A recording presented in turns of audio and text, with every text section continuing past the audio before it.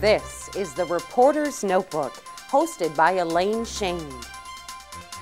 Hello, everyone. I'm Bryce Anderson, DTN Senior Ag Meteorologist, and on this edition of the Notebook, we're taking a look at how things are shaping up for the summer weather forecast across the major U.S. crop areas. As we look at the summer of the year 2019, we first of all start with what's going on with the Pacific Ocean temperatures because there is a weak El Nino pattern in effect. The uh, uh, water temperatures off the coast of South America toward the international date line are generally running at a, value of around a half degree Celsius to as much as one and a half, maybe in a few areas, two degrees Celsius above average. So a weak El Nino is in effect on the temperature side.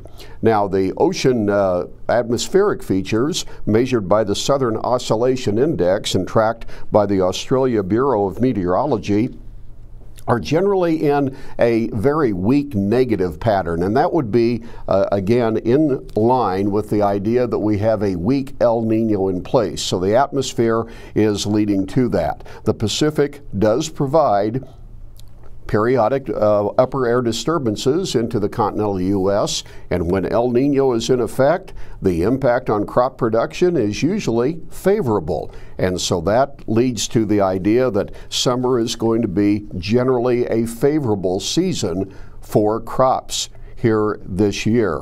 And the forecast for the Pacific temperatures through the balance of the growing season, put together by the International Climate Research Institute, calls for El Nino values to be in place all the way through the summer.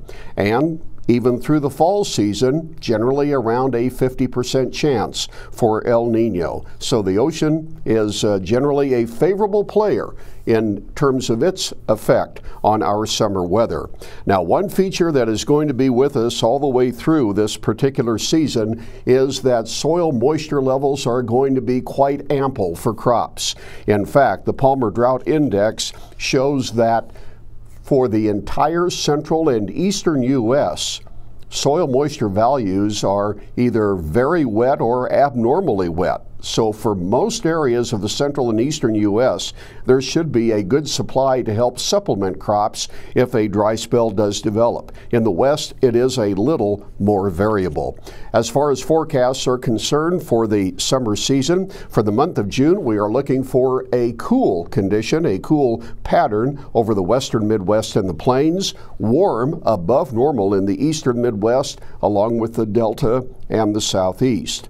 A big feature in July is that the western U.S. will be well above normal on temperatures, so it is going to be warm over the west. Normal in the plains and in the northern Midwest, and then above normal over most of the southeast.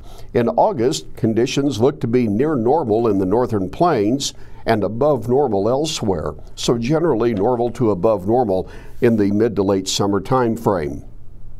Precipitation during June above normal in the western U.S. and near to below normal in the central and east.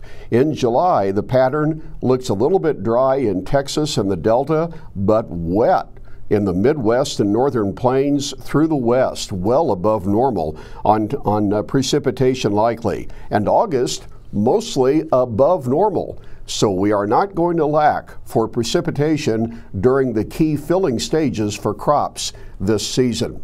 That is a look at the summer weather forecast for the year 2019. Thanks for joining us. I'm DTN Senior Ag Meteorologist Bryce Anderson.